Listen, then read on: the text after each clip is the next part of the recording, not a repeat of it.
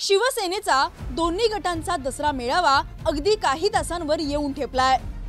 राज्यभरातून शिवसैनिकांचे ताफे मुंबईकडे कूच करत असताना ठाकरेंवर कुरघोडी करण्यासाठी कोणाला विशेष निमंत्रण मिळालंय याकडे सर्वांचंच लक्ष आहे. अशातच शिंदे गट खास ठाकरे ब्रँड असलेल्या मनसे प्रमुख राज ठाकरे तसेच उपमुख्यमंत्री देवेंद्र फडणवीस यांना निमंत्रण करणार असल्याच्या चर्चा राजकीय वर्तुळात झाल्या. एका ठाकरेंना सोडून दुसऱ्या ठाकरेंच्या साक्षीने दसरा मेळाव्याचं प्लॅनिंग एकनाथ शिंदे यांच्या डोक्यात सुरू असल्याचंही बोललं गेलं. पण राज ठाकरे आणि देवेंद्र फडणवीस यांची नावं दसरा मेळाव्याच्या विशेष निमंत्रणामधून बाजूला सारली आहेत.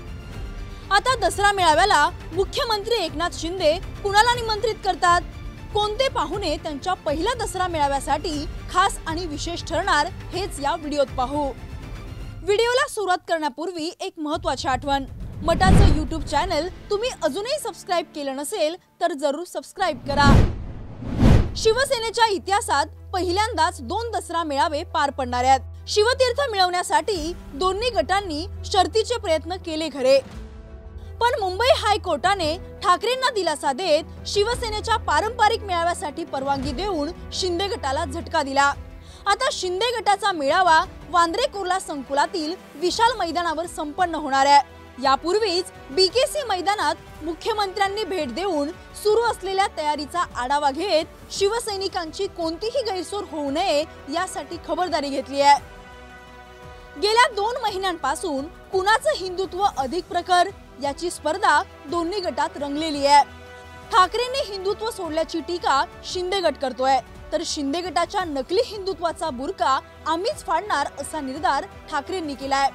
हिंदुत्वाच्या मुद्द्यावरून दोन्ही गट अधिक आक्रमक असताना ठाकरेंवर कुरघोडी करण्यासाठी थेट अयोध्येच्या संत महंतांनाच दसरा मेळाव्याला आमंत्रण दिल्याची माहिती आहे.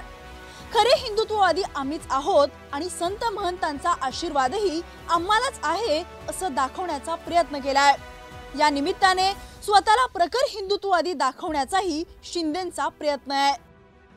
वांद्रे कुर्ला संकुलात एक ते दीड लाख लोक येण्याची शक्यता आहे.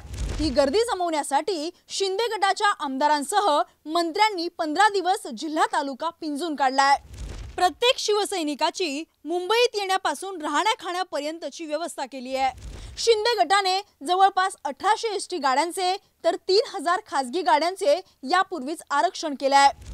मुंबईतील शिवसेनेच्या शाखा प्रमुख नगरसेवक यांना स्वखर्चाने कार्यकर्ते सभास्थळी येण्याच्या सूचना दिल्या आहेत.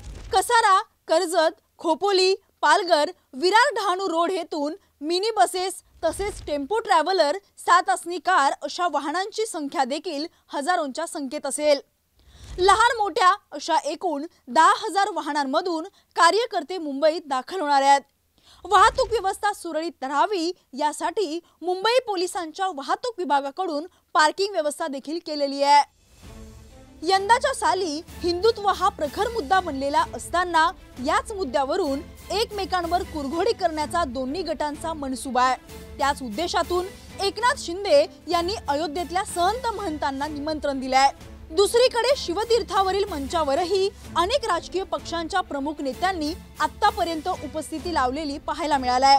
अगदी सामाजिक संघटना मानवी हक्कासाठी लढणारे नेते यांनाही निमंत्रण दिलं गेलंय. शिवसेनेत ऐतिहासिक फूट पडल्यानंतरचा हा पहिलाच दसरा मेळावा संपन्न होतोय. गावोगावचा शिवसैनिक मेळाव्यासाठी अहोरात्र मेहनत करून निष्ठेची ताकद दाखवायची या ईर्षेने कार्य करतोय. शिवसेनेच्या ऐतिहासिक दसरा मेळाव्याचा साक्षीदार होण्यासाठी शिवसैनिक सकाळपासूनच शिवतीर्थावर गर्दी करतील.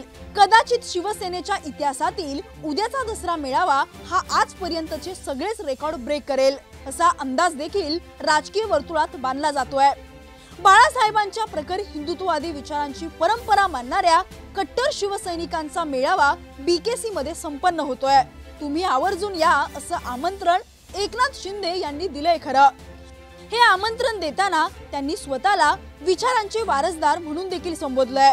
हे सगळं पाहता स्वतःला प्रखर हिंदुत्ववादी म्हणून सिद्ध करण्याचा शिंदेचा प्रयत्न यशस्वी ठरेल का? यावर तुम्हाला काय वाटतं हे कमेंटमध्ये जरूर कळवा. हा व्हिडिओ तुम्ही फेसबुकवर पाहत असाल तर आमचं फेसबुक पेज लाईक करा आणि यूट्यूबवर पाहत असाल तर मटाचं यूट्यूब चॅनल सबस्क्राईब करा. असेच व्हिडिओ मटाच्या युट्यूब चॅनलवर पाहत रहा.